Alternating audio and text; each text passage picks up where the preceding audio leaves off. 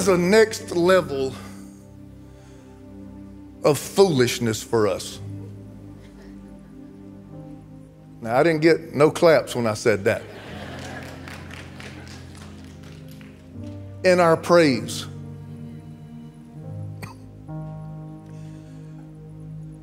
when,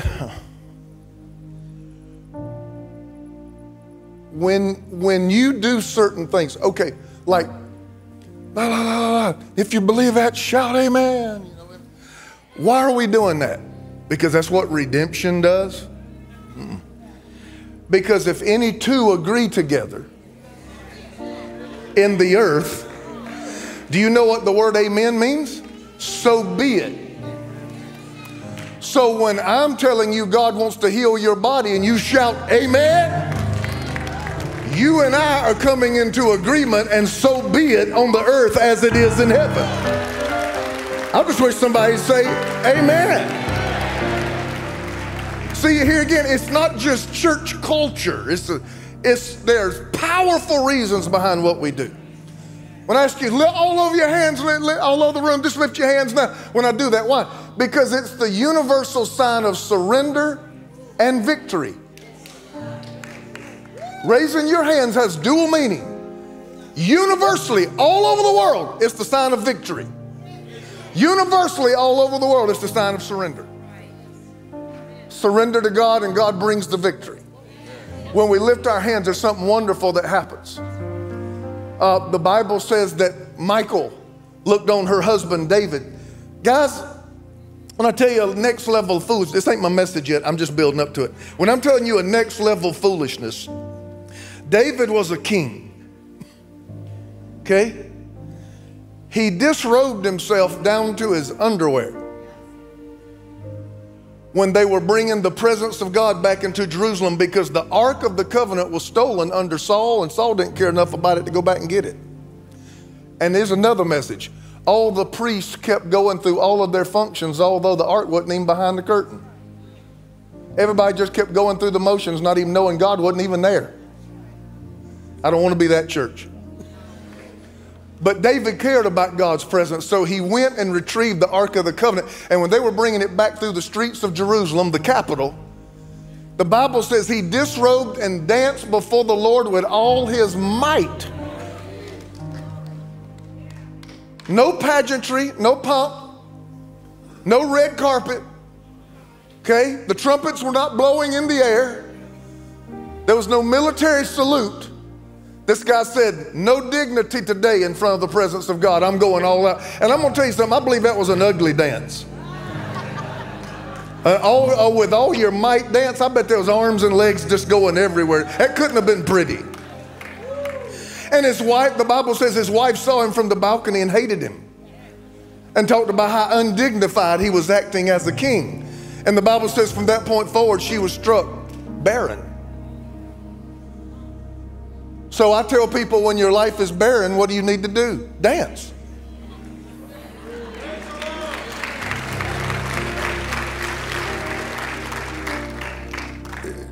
Everything has a reason for it. Whatever we ask you to do, there's purpose behind it. Okay? When I'm talking about next level in our praise, praise is God's mechanism for, I believe, breaking pride because you can't do it the way God said do it and be full of pride. It's impossible. I think that's why now all of our songs that are written are worship. We try to bypass praise because praise is foolish. In Acts chapter 2, when all of them were praising and speaking in the Holy Ghost, the onlookers looked in and said, These guys are drunk. I wonder how many churches you could look into today and everybody say, them guys are drunk. Not many, because nobody gets that foolish. We're too polished. Got too much status. We've had too many successes. We got too much education. There's a next level atmosphere waiting on us. But it's going to take a push in this area. There's a great warfare that goes on in your praise in the natural. Remember, the Old Testament, everything is outer physical, natural. New Testament, it's all inner, invisible, and spiritual. Same stuff. One you can see, the new covenant you can't see it. In the old covenant, praise threw enemy into confusion. So, in other words, we know that Satan's kingdom is highly organized and is highly strategic, and they do not fight against each other, and he is not divided. You have to go to church to find that. Satan does not, is not divided against himself. Okay? And over and over again in the Old Testament, they were getting ready to go in with their swords and shields, and God said, throw them down and praise. And when they praised, the enemy turned on each other because it thrown through them into confusion. Okay? What you don't understand is everything that has been assigned a street strategically against you when you open your mouth to foolishly and unashamedly praise God, you are rearranging things in the unseen realm and you are. T- the enemy that is organized against you, you are disorganizing his strategy. Come on, somebody. In other words, what you learn, it looks like he's carrying out everything he purposed to carry out. But when you let out a praise out of your mouth and just don't worry about what people think and people's opinion, then all of a sudden you start throwing the enemy into confusion and they begin to turn on each other. And let all the people say amen. I needed to tell your neighbor something else. Say, we're about to have some fun. Genesis chapter 1. Okay? Then God said, Let there be light, and there was light. Okay? And God saw that it was good. Verse 10.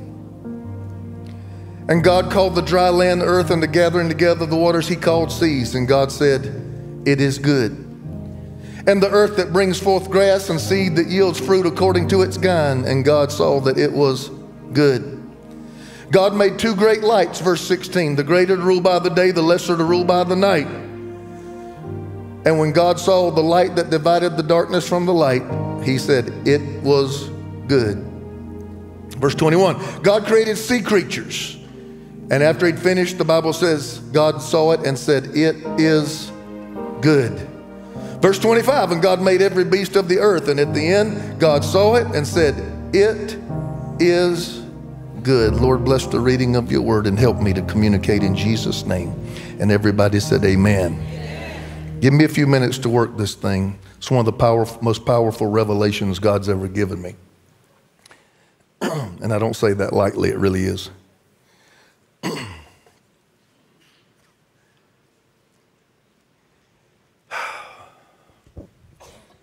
There's four things I want to tell you about sound. The first thing that God created was not light. The first thing God created was sound. And God said, Let there be light. If he had not have said it, there would have been no light. Some of you, it is not happening because you have not yet made a sound. God rides on sound. Faith can't even be seen. Faith comes by hearing, by sound being made, and hearing by the word of God. Everything. Number one, whenever God wants something, stay with me, this is so powerful. Some of you deep thinkers, you're to like this. It's deep. Whenever God wants something, He doesn't call out what He wants, He speaks to what holds it and tells what is holding it to turn it loose. Okay? God never said, let there be corn, potatoes, tomatoes, and green beans and squash and zucchini. God said, Let the earth bring forth. In other words, I've already put everything in the earth for food. Now, earth, turn your potential loose. Because everything is already in you, now let it go. God never said, let there be Jupiter, Uranus, Mars, Saturn. God never said that. He said, let the heavens bring forth. Because everything was in the heavens that was needed to sustain every star, every planet, every Milky Way, every galaxy. God already put it there. So, in other words, He told the heavens, turn loose of what I've already put in you. He didn't call what He wanted, He told what held it to let it go. God didn't say, let there be sea bass and let there be halibut and let there be, he didn't let there be flounder. He didn't say that. He said, let the waters bring forth because the waters already had potential for fish. The water already held potential for life. So he commanded the water to turn loose what was already on the inside of it. Okay? Now, woo. So now when God speaks to us, let me back up. I got another one. Just thought of it. I ain't got any notes much on this, folks. When God wanted people, He spoke to Himself.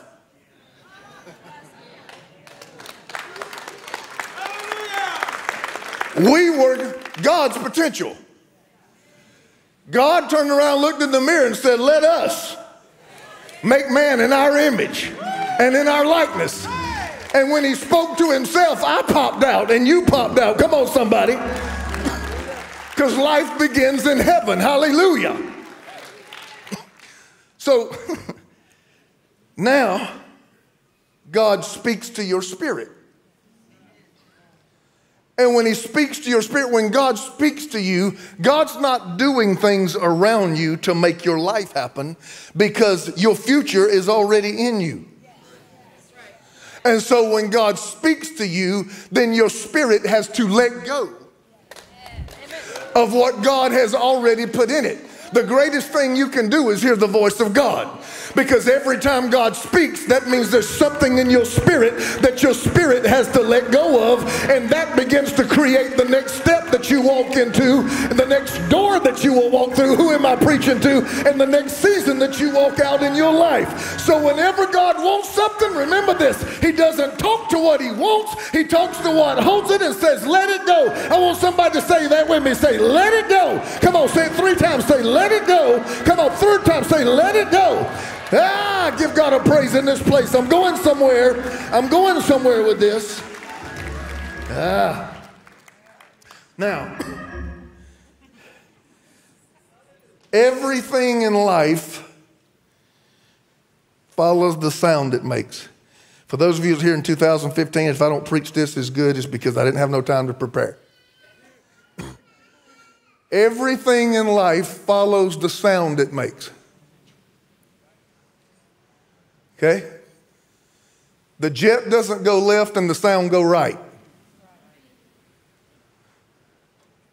The jet follows the sound it makes. The train is not heading west and you only hear it north.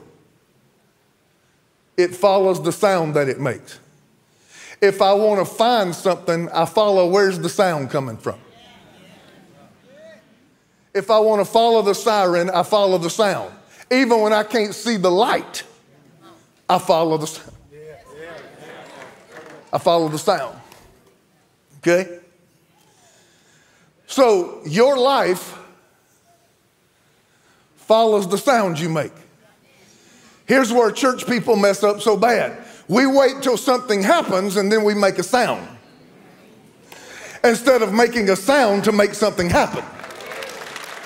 So something bad happens and we make a depressing sound. And because we keep making a depressing sound, something that was only meant to last a couple of days now has lasted six months. Because the sound is keeping it alive.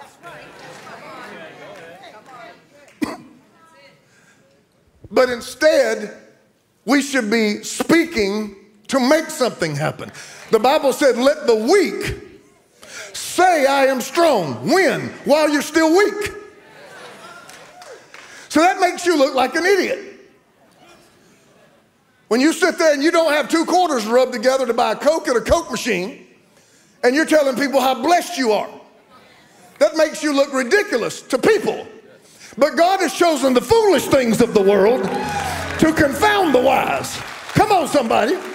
So, in other words, it looks like foolishness to them, but in heaven it is God's wisdom.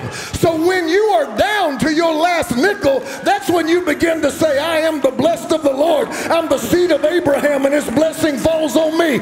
And the blessing of the Lord maketh one rich, and he adds no sorrow to it. Come on. And God, come on. The earth is the Lord's and the fullness thereof, and he's given his people to eat of the fat of the land. That's what we got to do. And you don't do once you've been blessed. You do it when you're on the bottom of life looking up. And then that sound will reach down and pick you up and carry you where you want to go. Shout hallelujah.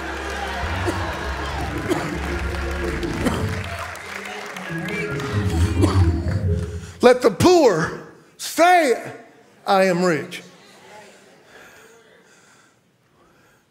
And what the world don't understand is all you're doing is you're putting a sound in the direction you want your life to go. You don't like the direction your life is headed, change the sound. Uh, say it can't be that simple. Oh, it's that simple. You don't like the way your marriage is, go into your house and change the sound. I can change your sound and change your husband's sound, and I can change your marriage by changing the sound. Don't like where your career's headed?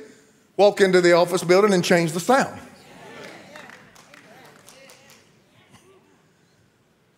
You depressed, don't turn on the blues and pull down the shade.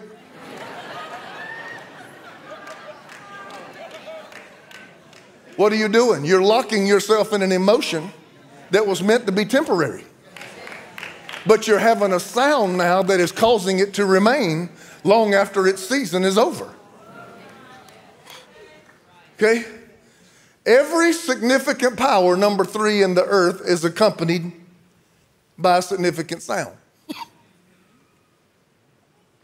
In most cases, maybe not exhaustively, but 99% of the time, anything that has great power has great sound.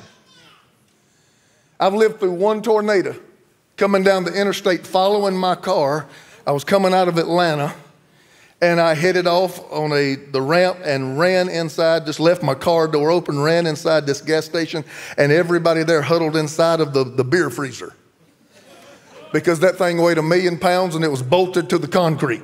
And I'm like, everything else is gonna go, but they're gonna protect their beer. I'm telling you that kill the people, but don't let nothing happen to the beer.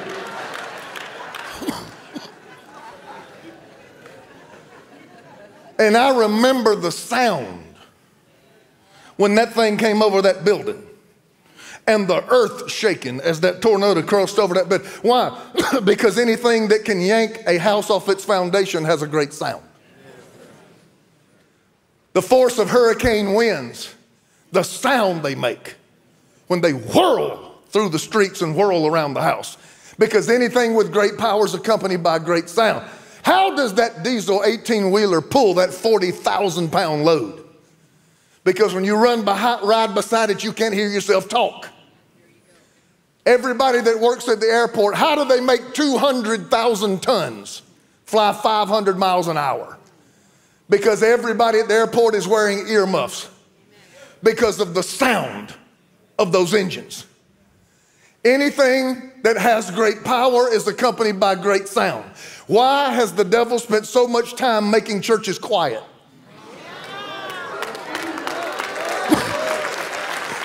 You want to go to some of the most boring places on the face of the planet?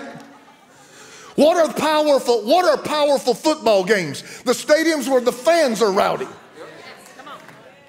Because when you make a sound, what happens? It lifts everything in the building up. See, they don't even know about spiritual dynamics, but there's something happening when 70,000 people get up and your team is against the wall and they're about to score, but all of a sudden the crowd gets into the game and the team finds something that they didn't have before the tank team starts screaming. Why? Because power comes on the back of that sound. Who am I talking to in this place?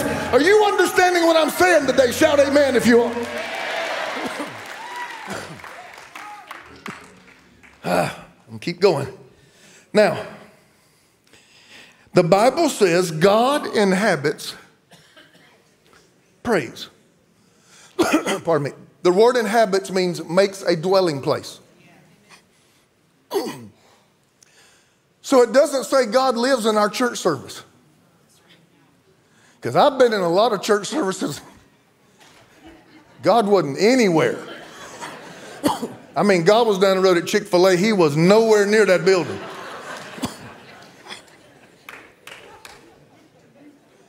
And just because we got up, cleaned up, and drove over here does not mean God is obligated to come in our midst. It doesn't say that God lives in our gathering, okay? It doesn't even say that God lives in my preaching, but it said God lives in praise. You want to assure yourself that there's never a dead service? Then build God a house. How do you build God a house? You build God a house with your praise. Your praise has to do with make, give, singing to the Lord a new song and give him a great big sound, the sound of string instruments. give him the sound of the cymbals. Give him the clanging of the cymbals. All these things are what God wants. If you ever look at God's people praising, it was not pretty, it was loud, and it was chaotic. But God always inhabited it. So if I want to experience a small God, then build him a small house. Just golf, golf course praising. Open your mouth and shout him. Amen. Okay? You've built God a small house. Today you will experience a small God because you've made no room for him. But then you got those people that as soon as the first notes hit, they get out now Because they need God in a big way. And you may need a small God to get you out of their problems, but they need a great, they need a big God for what they're dealing with. And so that's when you get out here and you just start getting a little crazy a little bit and you quit worrying about what people think and, and you just get your hands in the air and you start singing, you start shouting, you start spinning and hopping like everybody on the stage. And this is some of the next level stuff I'm talking about.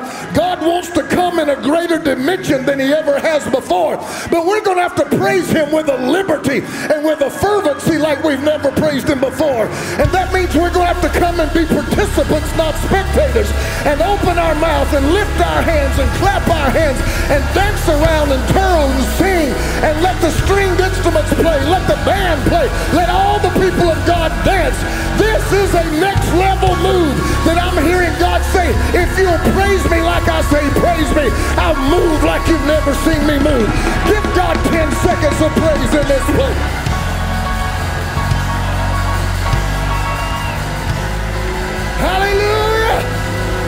Five, four, three, two. Shout hallelujah.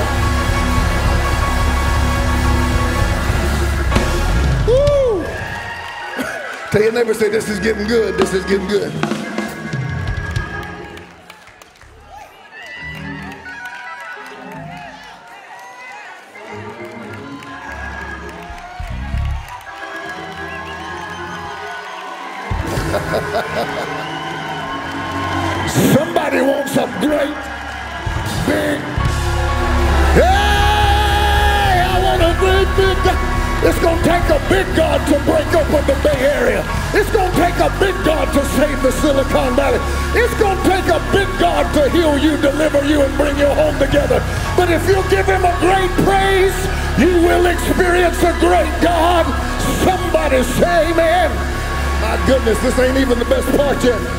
Hallelujah.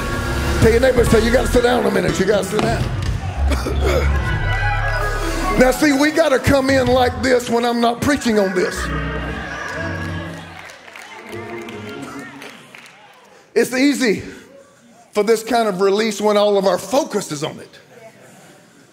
But your focus has got to be on it whether or not the focus is on it or not. Okay? So you control the size of God you experience. Ah, you know what? I just, I don't know. Pastor wasn't on today. He's a little off. I just didn't.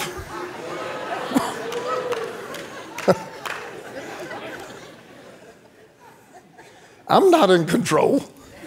of how much God you experience. You can experience a big God if I'm having a terrible day. Because it's your praise that builds him a habitation, a dwelling place. Okay? Sound precedes any manifestation. Here again, it is human nature. I'm not bashing us, I'm just telling you what we're going to have to intentionalize this. It is human nature to let life happen, and then I respond. If it's good, I respond with happy sounds. If it's bad, I respond with all other kinds of sounds. Instead of getting up every day and commanding your morning and release the sound in which you desire your day to go. If you don't make a sound in your office, somebody will make one for you. And then you have to live with that sound. You do not have to put up with anyone else's atmosphere. You have the ability with your mouth to create any atmosphere you want.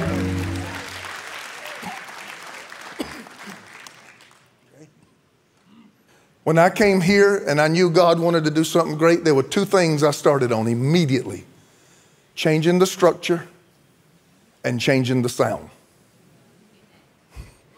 Immediately, I went to work in those two areas because I know that you don't really rise to the level of your vision, you fall to the level of your systems. You corporate guys, y'all can give me a little offering after this for that right there. so I started getting in the engine and working diligently, still am. But another thing was what we had up there and what we had up there, I wanted to change the sound because we've got to put a sound out there to where we want to go. And so I realized those were two immediate areas of need, and we're still working on it. And I'm still diligent behind the scenes, pushing that envelope, pushing that envelope. This next level thing that God's wanting to do must be imminent, or God wouldn't have me preaching about this today. So it must be, Ron, you got to speak this because I'm ready to do what it is I want to do. okay? Sound precedes manifestation. There came a sound from heaven like a mighty rushing wind. Then tongues of fire set upon their head. The sound came first, then the fire. Ezekiel prophesied to the bones. Talk to them and they will live again. Oh, God a sound had to be made before life came back to dead things. Okay? Elijah said, I hear the sound of an abundance of rain after a three and a half year drought. And all he saw was this cloud the size of a man's hand. Can you see something as small as a man's hand and tell a whole country, I hear the sound? Uh, don't look at what you see. Let me tell you what I hear. Hallelujah. I hear the sound of an abundance of rain. And then what happened? It rained over all the land, and the famine was broken, and the drought was broken. But the sound came before the manifestation. God told Jehoshaphat, begin to praise, and when he praised them, the enemy was thrown into confusion and killed each other. God, on the seventh day, on the seventh time around the walls of Jericho, he said, Shout! And when you shout, the walls will begin to fall down. Not the walls fall, and when you see them fall and start shouting. In other words, you shout when they're still standing up. And when you shout when they're still standing up, then that'll give you the power to see them fall. Everything God wants to do follows somebody making a sound. The things that you want to see, do you have the sound for it? Ah, all right.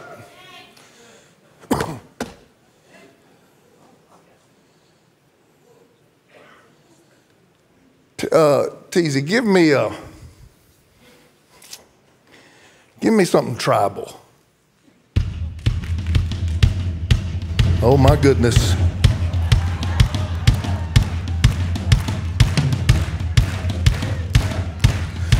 And we're coming into the enemy's camp. And we're not throwing our weapons down, but we're walking in and we're taking back those things that have been stolen from us. Everything, every, every bit of finances, every bit of peace, every bit of joy, every bit of healing, everything that's been stolen us, we're taking it back today. Does anybody want to march with me into the enemy? Look at y'all. I was just trying to prove a point. Okay, go ahead. Some of y'all look like you need to get something back. Go!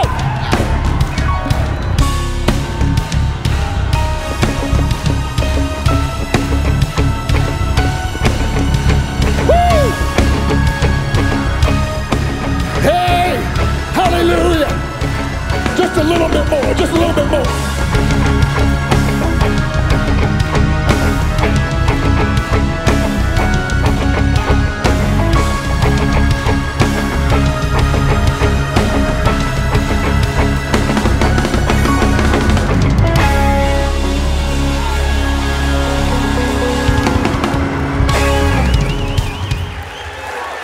It took every bit of two seconds for y'all want to rip every demon's head off in California. But what happened? Your response came on the heels of a sound being put in the atmosphere. And every one of y'all was ready to charge hell with a water pistol and take it over. Me just a few minutes. I still got about 10 minutes. I know it's late, but just hold on. Okay. Leave me beside still waters, Terrence.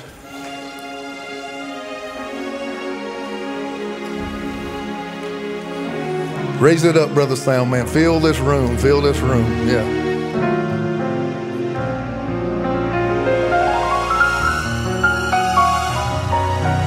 The Lord is my shepherd, I shall not want. He maketh me to lie down in green pastures. He leads me beside still waters. He restores my soul. He leads me in paths of righteousness for his name's sake. Yea, though I walk through the valley of the shadow of death, I will fear no evil, for thou art with me. Thy rod and thy staff, they comfort me. You prepare a table before me in the presence of my enemies. You anoint my head with oil, and my cup runs over. Surely goodness and mercy shall follow me all the days of my life, and I will dwell in the house of the Lord forever. Is there any peace in this room right now? Come on, give God praise.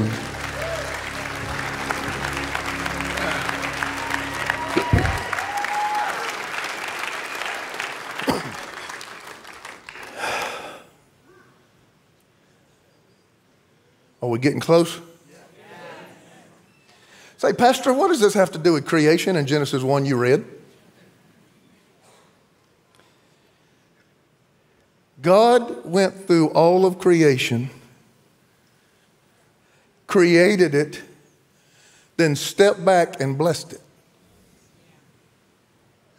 Why? Because what he does has to be praised, and there was nobody there but him. So he praised himself. That's a bad God. He'd make something and step back and say, You did good. He'd make something else and say, Oh, you a bad God. He did it, he blessed it. He did it, he all through the creation narrative. Except one thing. Go read your Bible today. He created something called the firmament. And when he got to the firmament, I think it's verse 6 if you want to study it today, he got to that and he created it and he said, It is so. I say, You can't do that to me. When I see 10, it is goods, and one, it is so, I got to know why. There's where the revelation always is, it's in that stuff. Most theologians think that somewhere between Genesis 1 1 and Genesis 1 2, that that's when the fallout in heaven took place. It's not a hill I'm willing to die on one way or the other. It's up for a lot of debate, but we know it happened sometime. That Satan led a rebellion, a third of heaven was cast out. Where did they go? Where were they cast out to? Satan is not in hell. Revelation 19 and 20 says hell is reserved for him. So it preaches good and it sings good, but it's just not true. All the demons in hell. there, are, there are no demons in hell. In fact, the Bible says there's spiritual wickedness in high places. It's not under you.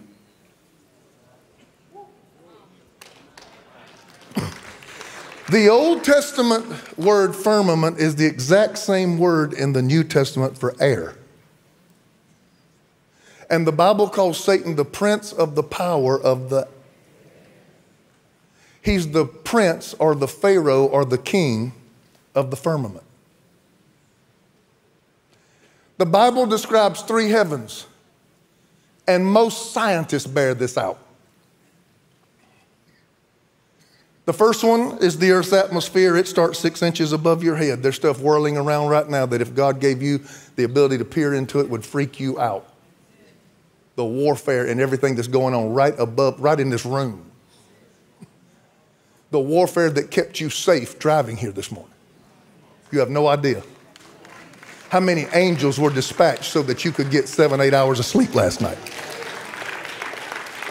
you have no idea. You just can't see it. The third heaven is the abode of God. It's where God lives. It's where John said, I was taken into the third heaven and God showed me the vision. The, work, the book of Revelation is not a book, it's a vision. He wrote down what he saw and we call it a book. But in the middle, there's this second heaven called the firmament. When God was blessing everything, he created the firmament and refused to bless it because he knew that evil would dwell there. And there was no way he could bless an evil dwelling place. Now that presents me a dilemma. Because when Jesus was teaching us to pray, he said, Pray that the kingdom would come on earth, number one, as it is in number three. Which means it's got to pass through number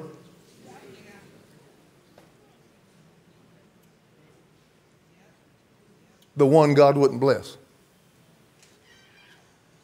The Bible says that you receive when you pray. Not when you receive, when you pray. Give me five minutes.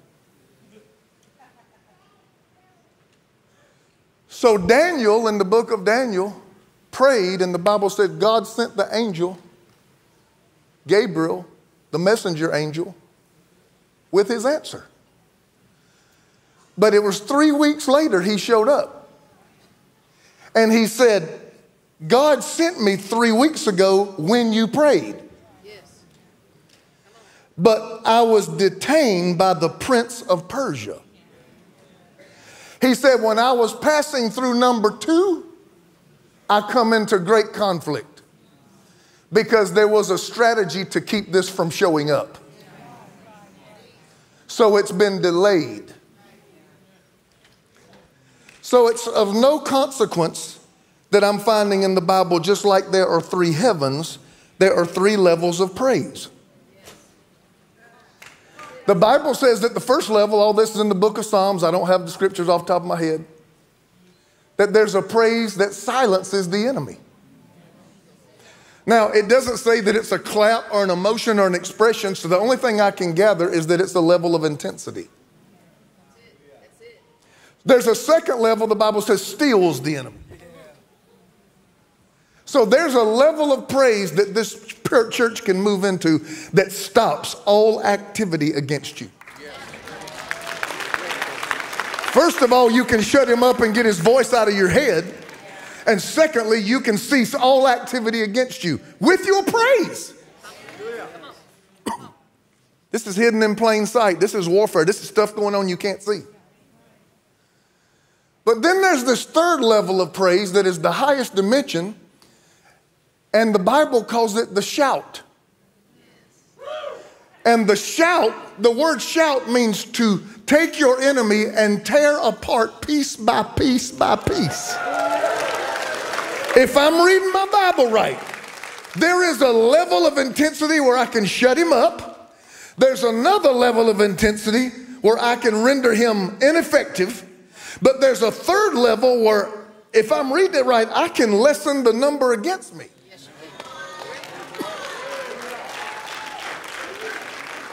But if you go in churches across America now, we've got polished and we've gotten pretty and we've gotten click tracked and we've gotten a song service instead of a praise and worship service. We sing several songs before we preach and give you your t shirt. And we're missing the whole point of it. You don't warm them up with music. This is a time where you begin to assert yourself in the unseen realm and wreak havoc on your enemy and rearrange his assignment against you. This is a time where you increase the size of God that you want. Come on, somebody. This is a time where you understand you're breaking through the second heaven. Now, I got to stop, but we're going to have to lift up one shout. Go ahead and stand with me all over this building. Now, you don't just do this at church. You do it all the time.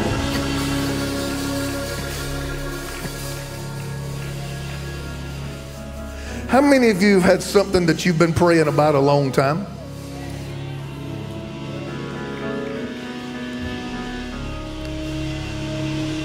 What if God answered it the first time you prayed?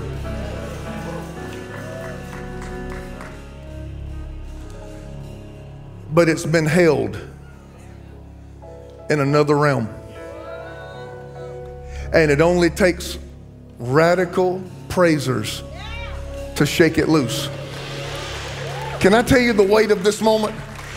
What if your shout released the last 10 years of unanswered prayers in your life in a day? I'll never ask you to do it without telling you the purpose of it, and I've drawn this thing out as good as I know how. But I think we need to take about 30 seconds and then I got to get you out of here because there's some other people going to be shouting at your parking space if I don't get you out of here. But I need you to lose your dignity and I need you to lose your status and how many successes you got and how many PhDs you got beside your name. Oh, that's good. I'm not, not downing it. But right now is not the time for that. Right now is the time to become like David and say, I don't care who's watching. I don't care who's looking. I'm not trying to be dignified. I'm trying to build God a house. And I want someone to take 30 seconds and make the second heaven turn your blessings loose. Are you ready? Four, three, two. Give God a shout in this place.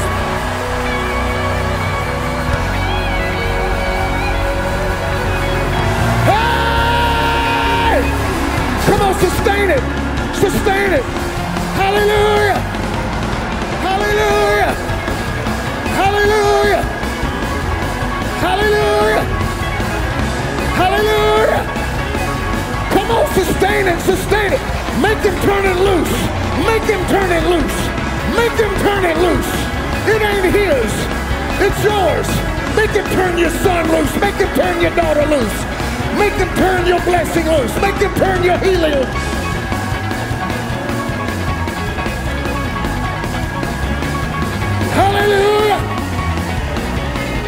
30 more seconds. Let's go. Ready?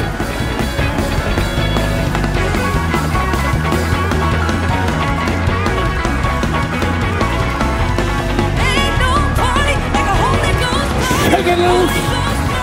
Shake it loose. Shake it loose. Shake it loose.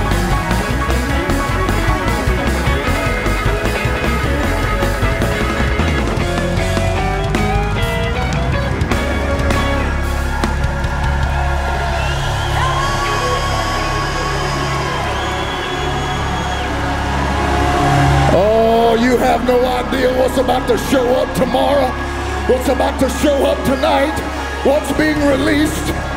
You are making the second heaven hemorrhage because they haven't let go of every one of your unanswered prayers. Oh, somebody shout hallelujah.